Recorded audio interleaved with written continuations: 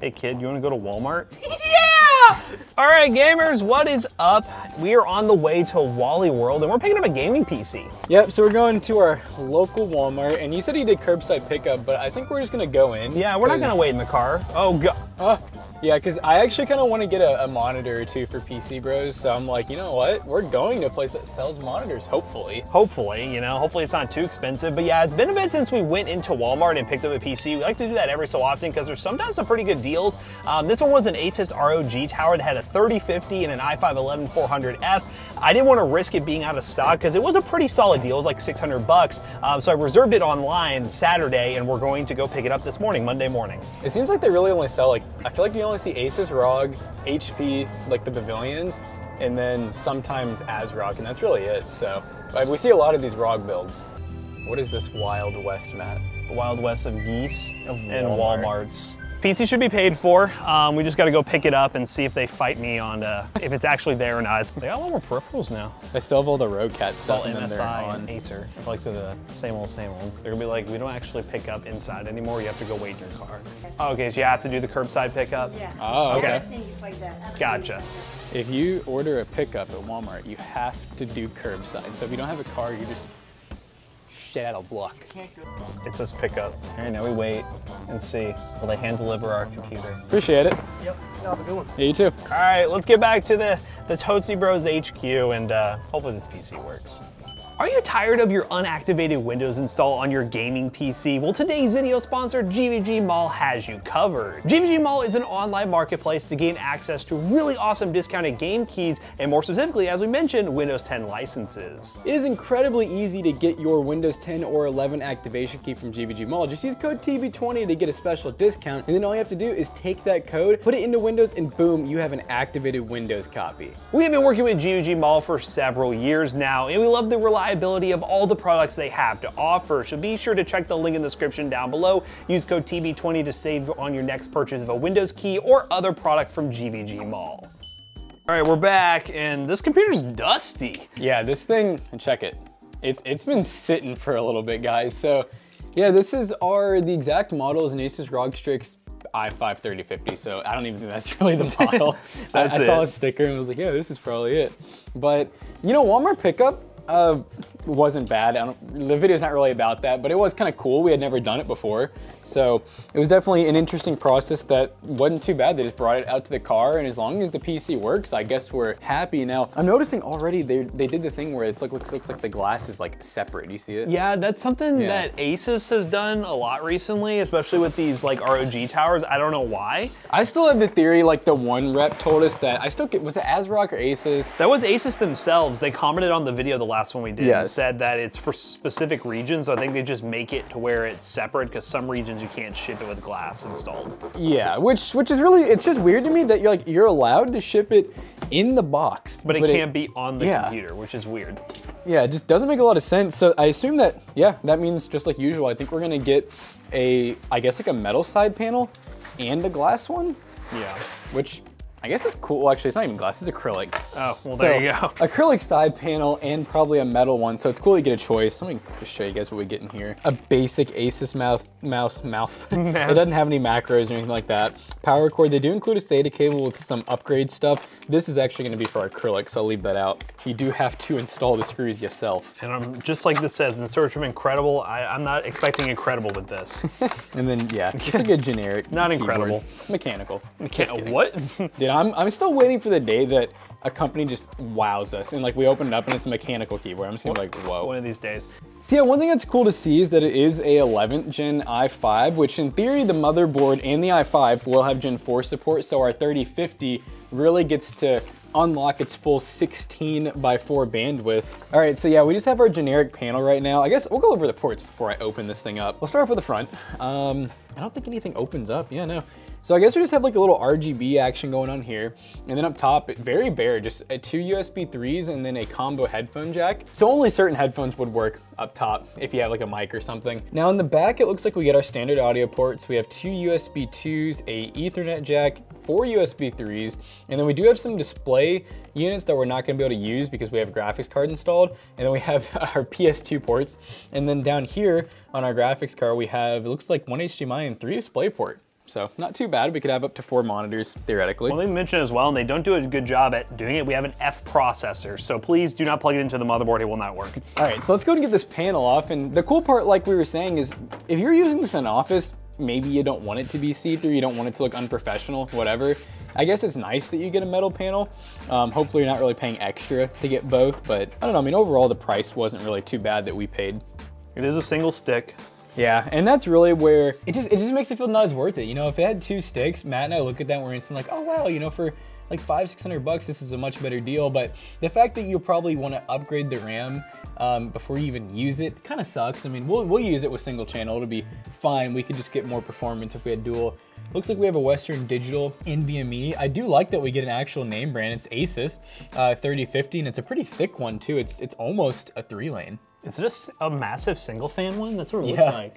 It's like a almost like a 120 mil Huh, fan. Uh, just uses one eight pin, so it definitely pulls some power. But look, we get this a little bit extra power to work with. Um, the motherboard is actually swappable. It has a removable I/O shield, so let's give him some give him some claps. for Yes, it's actually case swappable. Yeah, standard motherboard. Or Yeah. you could put, you know, down the line, swap this case out, um, or swap the motherboard out, and then you could always build like a cheaper PC in this to resell. And I do like that it has a removable back panel. We just checked out an Alienware, guys, and I don't know if you noticed, Matt, the back panel like wasn't even removable. That's wild. Yeah, which can't even just go in the back why? at all. Yeah, this is like the one pre-built that's like really pre-built and actually is still a normal tower design. Has Yeah. a basement and everything. It is. It is very. I mean, you know, it's it's plain, but like I kind of like that. I do. Oh yeah, the fact that it has a basement, which that's that's a good addition to point out. The power supply is pretty standard too. Like this could be swapped over. We have SATA. Uh, we have Molex, so it's like everything you need has Cannot no even tell the labeling. wattage. It's- well, you know what? I'll pull it out for you guys. Pull it out. We're gonna know one way or another. We're gonna have to know. I like that they have um, uh, what are they called? Blue uh, thread lock on everything, just to make sure it doesn't come out. Just to make sure. You never know what could happen in shipping. It might vibrate its way out. Yeah, I don't know. I'm, I'm, I'm appreciating this build the more that we kind of get into it because I'm like, yeah, this is this is nice. It is Asus ROG, you know, they're into the PC building market, so it kind of makes sense that they would be the one to make it pretty standard. Have to cut that zip tie sadly. Total power output 500 watts. Nice. Okay. That's reasonable. So it's kind of like an Aries game. It's 80 plus Yes. bronze, um, 500 watts, and it's a Chicony brand, which Chicony is actually like an OEM, so it's probably actually not a bad power supply by any means. And honestly, it's it's kind of already beating a lot of like the HPs that we get. Those usually have like a, a 200 watt, um, but they, they are dirt cheap, so you have that going for you. This one's just cool because case swappable, guys. Yeah. Case swappable, you're not limited to this platform. It's not like a console where you're just using it until you can't upgrade it anymore, then you just have to get rid of it. This thing, in theory, could be your case for a long period of time. The power supply could be your power supply for a long period of time. There's a lot of components you can reuse um, compared to those like off-the-shelf pre-builts that use proprietary hardware. Yeah, and real quick, uh, just before we go ahead and get into this, I want to go over some of the upgrades you could do. So I don't really see like, I mean, okay, there is a hard drive mount right down here. So you can put a hard drive down there. You have plenty of SATA cables, uh, plenty of SATA power. Up front, we have an SSD tray in one way or another. It's kind of weirdly shaped, but I There's definitely SATA port. There's four Yeah. SATAs, so you can uh, do that easily. You could definitely put them there. Um, I don't know if we have any more M. Yeah, there's one more M.2 underneath the graphics card. We have four RAM slots, and I like this too. This motherboard even has two four pins, meaning it's not like a stupid cheap like you know H510 necessarily, which it could be an H510. Um, honestly, I'd have to look it up, but it looks more like a B560 Yeah. in terms of its form factor.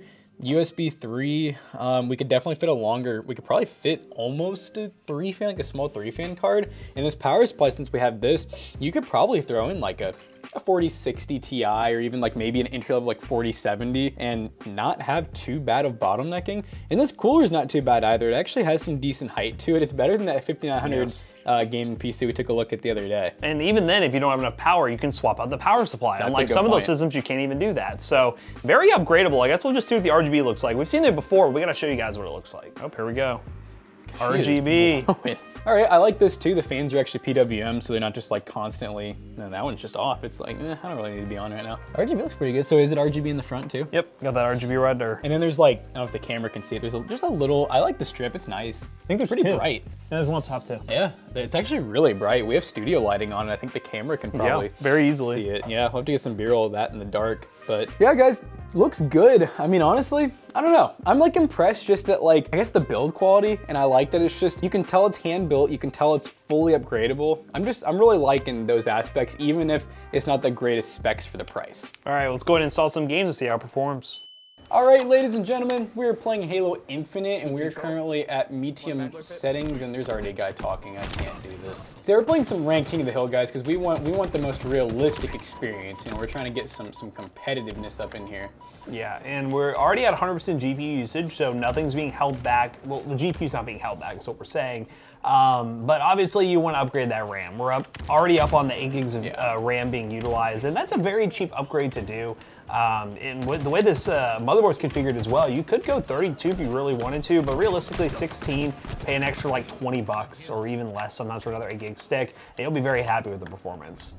Yeah, and I honestly think like the RAM alone, like I think we would probably be seeing a little bit more FPS. That was a heater of a grenade. I think we would see more FPS just out the gate if we upgraded it, and probably a little bit smoother gameplay, maybe lower millisecond even.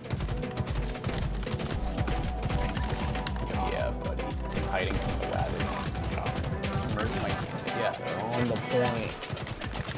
I swear to God, if he kills me. Okay. Where do I look? Where do I look? Here? Yep. Oh! yeah. We're capping this. It's the last thing we do. God, I'm gonna scoop that. Dude, this guy's it, that guy's insane. It yeah, doesn't look at you for focusing on me. Woo! PC was pretty good for competitive Halo. Not too bad. Let's play some Fortnite. All right, guys, we are now in Fortnite. Hopefully, you can hear that in the background. Um, Otherwise, we're just laughing at nothing. yeah, we're just laughing at nothing, but we're dropping in right now. We'll show you guys the settings real quick. We are using DLSS instead of using uh, TSR because we have an RTX card and we can use DLSS, which is a cool feature that is a very nice upgrade over something like the 1660 Ti, which originally was in a system like this. Um, so that's something to keep in mind. Getting DLSS support will allow you to play some games um, and get better performance numbers. And yeah, this is, this is looking pretty solid. Let me, oh goodness gracious, show you guys the settings we're currently working with. 1080p medium quality preset, DLSS on performance, medium across the board, and it looks pretty good. Getting 100 plus FPS. I was worried that the single channel memory would really hold us back here, but I think we're running DX12, and I don't think it has as big of an impact if you're running like DX11 or even performance mode. Yeah, no, if we did give it the RAM, if it had 16, it'd probably be using like 12 to 14 right now. Yes. And like Matt said, I don't think the performance would be much better, even though it's using that much more RAM, but it, maybe the milliseconds would be a little slower or lower, and maybe we'd get slightly better FPS. Um, but yeah, it's looking really good, actually. The bro, I was just dancing. I was just dancing, bro. Ooh, the guy must went crazy. We're gonna boost, baby! Yay! Oh, oh, always look ahead before boosting. oh, I survived that. This guy's a casual. Like, he didn't even know where to go. He just got mayonnaised. I bet these last people are gonna be some real people. How many bullets am I gonna take from this guy? Oh! Oh, one more probably. Oh, he died to the circle! Oh, this dude's Oh dumb. no, he died to the circle. Look at the hamster clapping. But yeah, we won Fortnite. That guy died to the circle. It just takes running around Fortnite, I guess. But yeah, performance is pretty solid. I'm pretty impressed with this PC for the money. Let's go ahead and run some built-in benchmarks and wrap this video. All right, guys, we just got done benchmarking this Asus ROG Strix Gaming PC, and some of the important things to note about it are, for one, this thing is fully swappable, meaning you can take the motherboard, power supply, graphics card, RAM, even the case, and you can put it in another build or vice versa, which is really awesome to see in a more name brand pre-boot company like this. And then obviously single channel RAM, we really recommend going to another 8 gig stick so you have 16 and dual channel to get some extra performance. 600 bucks, not too bad for this system. Yeah, and with those upgrades you recommend, you're really gonna be in like the $620, $630 uh, price point there. And if you're gonna build a similar system, it would come out close to the same price. So you are getting some good value for the money here if you don't wanna do any crazy deal hunting and you just prefer buying something off the shelf. If one of these is at your local Walmart for this price, you should definitely consider it. And check the link down below. It will not be an affiliate link because we aren't a part of the Walmart affiliate program, but it'll direct you to the website. You can see this PC and determine whether or not you wanna buy it for yourself. Let us know what you think of this deal in the comment section down below. And as always, we hope you guys enjoyed today's video. If you did, check out our other two YouTube channels and also our twitch.tv slash toastybros. And don't forget to like, comment, and subscribe. And we'll see you guys in the next one. Goodbye. And PC Bros is all you need in your life. and these mouse pads.